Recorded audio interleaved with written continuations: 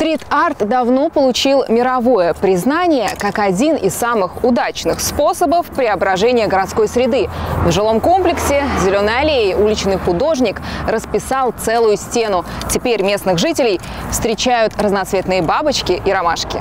Идея преобразить неприглядную серую стену при въезде в микрорайон принадлежит руководителю управляющей компании в ЖК «Зеленой аллеи» Марии Гаевской. Скучные старые бетонные стены э, решили мы расписать э, какими-то там радостными красками. Э, выбирали долго, подбирали концепцию, э, решили, что в зеленых аллеях отлично будет смотреться зеленая стена. Выбрали э, тематику природы.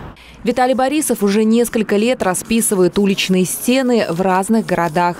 Профессиональный дизайнер рассказывает, что перешел в этот вид искусства, потому что здесь намного больше пространства для творчества и самовыражения. Оформляя фасады домов, он создает атмосферу в целом переулке. Мы начали разработку социальной концепции, которая, была бы, а, которая могла бы отражать и название самого жилого комплекса и иметь э, благоприятное благоприятный вид со стороны окружающих, чтобы большая часть людей была довольна этим рисунком и использовала ее в том числе как фотозону для своих фотографий.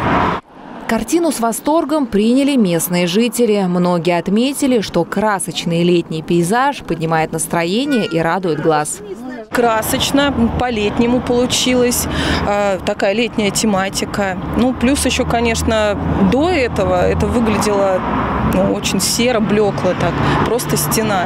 А сейчас красиво. Все замечательно. Я вот как раз думала, куда бы обратиться, чтобы разрисовали стену. Так что прекрасно. Этого не хватает. Так намного симпатичнее, чем было. Ну, естественно, приятнее смотреть. Это просто превосходно, очень нравится. Большие молодцы, спасибо огромное. Облагородили, конечно, стенка была жутко страшная. Сейчас, ну вот прям, ну глаза радуются.